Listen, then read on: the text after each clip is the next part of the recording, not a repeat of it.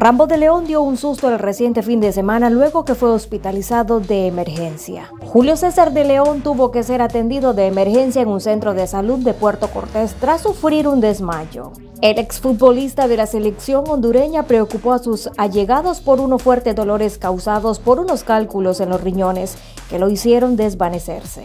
Tras la noticia, inmediatamente aficionados reaccionaron preocupados por el estado de salud de Rambo, Afortunadamente todo quedó en susto y Julio César de León recibió el alta médica. Mediante su cuenta oficial en Facebook, Julio César de León se pronunció y habló sobre lo que ocurrió. Recién salido del hospital ahora a ponernos las pilas con tratamiento para los cálculos en los riñones, comenzó diciendo Rambo de León.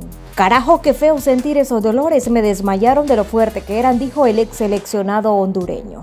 Afortunadamente y para tranquilidad de sus seguidores, Julio César de León recibió el alta médica luego de ser hospitalizado de emergencia. Rambo comenzará un tratamiento ya que tiene cálculos en los riñones. Esta noticia llega justo cuando Rambo fue confirmado hace unos días para unirse a la parte técnica que estará formando a los niños del país a través de Condepor.